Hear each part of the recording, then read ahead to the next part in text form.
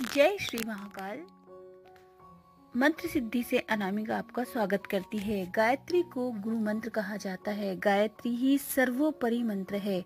प्राचीन काल में बालक जब गुरुकुल में विद्या पढ़ने जाते थे तो उन्हें वेद के आरंभ संस्कार के समय गुरु मंत्र के रूप में गायत्री मंत्र की शिक्षा ही दी जाती थी।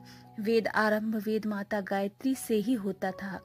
आज के नामधारी गुरु नाना प्रकार के ऊट मंत्र पढ़कर गुरु दीक्षा की लकीर पीटते हैं।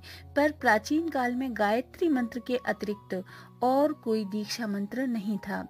भारतीय धर्म में ब्रह्मा, विष्णु, महेश के प्रतीक तीन जीवित देवता भी माने गए हैं। माता पिता और गुरु। जिस प्रकार से किसी व्यक्ति के माता पिता होना आवश्यक है, उसी प्रकार उसका गुरु होना भी ज़रूरी होता है। क्योंकि व्यक्ति अपनी मात, कोई व्यक्ति अपनी माता पिता का पता ना बता सके या अपने पिता के संबंध में अपरिचित रहे तो उसकी उत्पत्ति अनैतिक मानी जाएगी। इसी प्रकार यदि कोई व्यक्ति गुरु रहित हो तो उसको भी असंस्कृत कहा जाएगा। निगुरा एक प्रकार की गाली है, जिसका गुरु नहीं है, उसकी आध्यात्मिक सुव्यवस्था संदिग्ध मानी जाती है। गायत्री दीक्षा या गुरु दीक्षा एक ही बात होती है।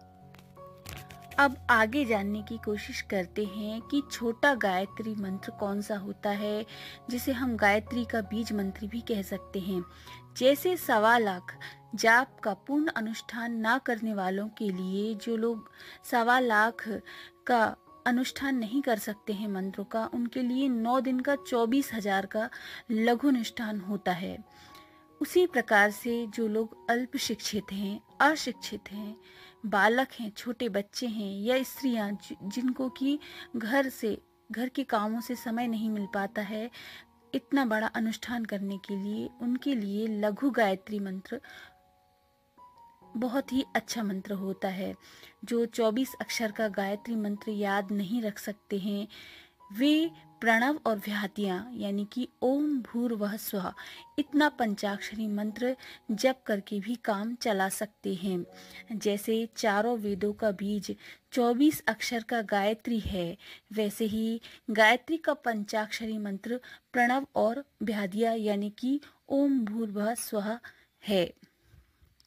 यह मंत्र स्वल्प ज्ञान वालों की सुविधा के लिए बड़ा ही उपयोग है। इस मंत्र के द्वारा आप नौ दिन में चौबीस हज़ार का अनुष्ठान या सवा लाख का अनुष्ठान आसानी से कर सकते हैं।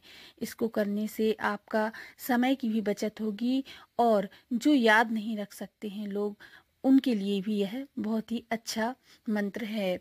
ऐसी ही रोचक जानकारी के लिए सब्सक्राइब और लाइक करें मेरे चैनल को। जय श्री महाकाल।